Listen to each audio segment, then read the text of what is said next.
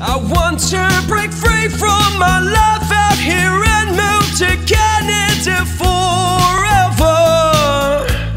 Good day, ladies and gentlemen, uh, boys and girls. This is IRC News, and I'm Joy Stephen, an authorized Canadian immigration practitioner, bringing out this data analysis release from the Polinsys Studios here in Cambridge, Ontario. Today is the 15th of May 2022.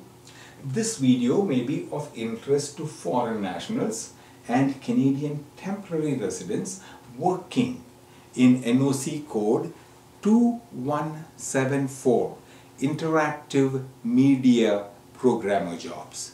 We are talking about the AIPP program selection for 2019 and 2020 to give you some understanding on the number of people being selected in this category for the AIPP program every year.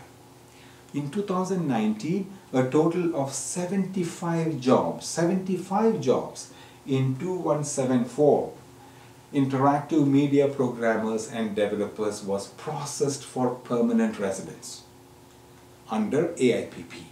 And in 2020, a total of 10 jobs in the same job title was processed in spite of the travel ban and the global pandemic. The position, uh, this position held 8th position in 2019. However, in 2020, because of the travel restrictions, it did not meet the top 8 positions and was replaced by registered nurses and psychiatric nurses. But that is, does not tell you what the opportunity is post-COVID. Okay, the total, now we'll go to the total number of people selected under AIPP program in 2019. The total number of people under, uh, selected under AIPP was 5,380. And in the year 2020, the first year where you could see the impact of the global pandemic, the total number of people was quite high considering the pandemic. Even though it reduced a little bit, they still processed 3,234 applications under AIPP and in 2021 the numbers will be coming out soon.